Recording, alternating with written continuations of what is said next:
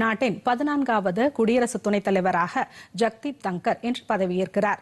இன்று பிற்பகல் பனிரெண்டு முப்பது மணி அளவில் நடைபெறவுள்ள பதவியேற்பு நிகழ்ச்சியில் குடியரசுத் தலைவர் திரௌபதி முர்மு அவருக்கு பதவி பிரமாணம் செய்து வைக்கிறார். குடியரசு துணைத் தலைவர் நாடாளுமன்ற மாநிலங்களவையின் தலைவருமாவார் தற்போதைய குடியரசு துணைத் தலைவர் வெங்கையா நாயுடுவின் பதவிக்காலம் நேற்றுடன் நிறைவடைந்தது. இம்மாதம் ஆறாம் தேதி நடைபெற்ற குடியரசு துணைத் தலைவருக்கான தேர்தலில் தேசிய ஜனநாயக கூட்டணி வேட்பாளர் ஜக்தீப் தங்கர் ஐநூற்றி இருபத்தெட்டு வாக்குகள் பெற்று வெற்றி பெற்றார்.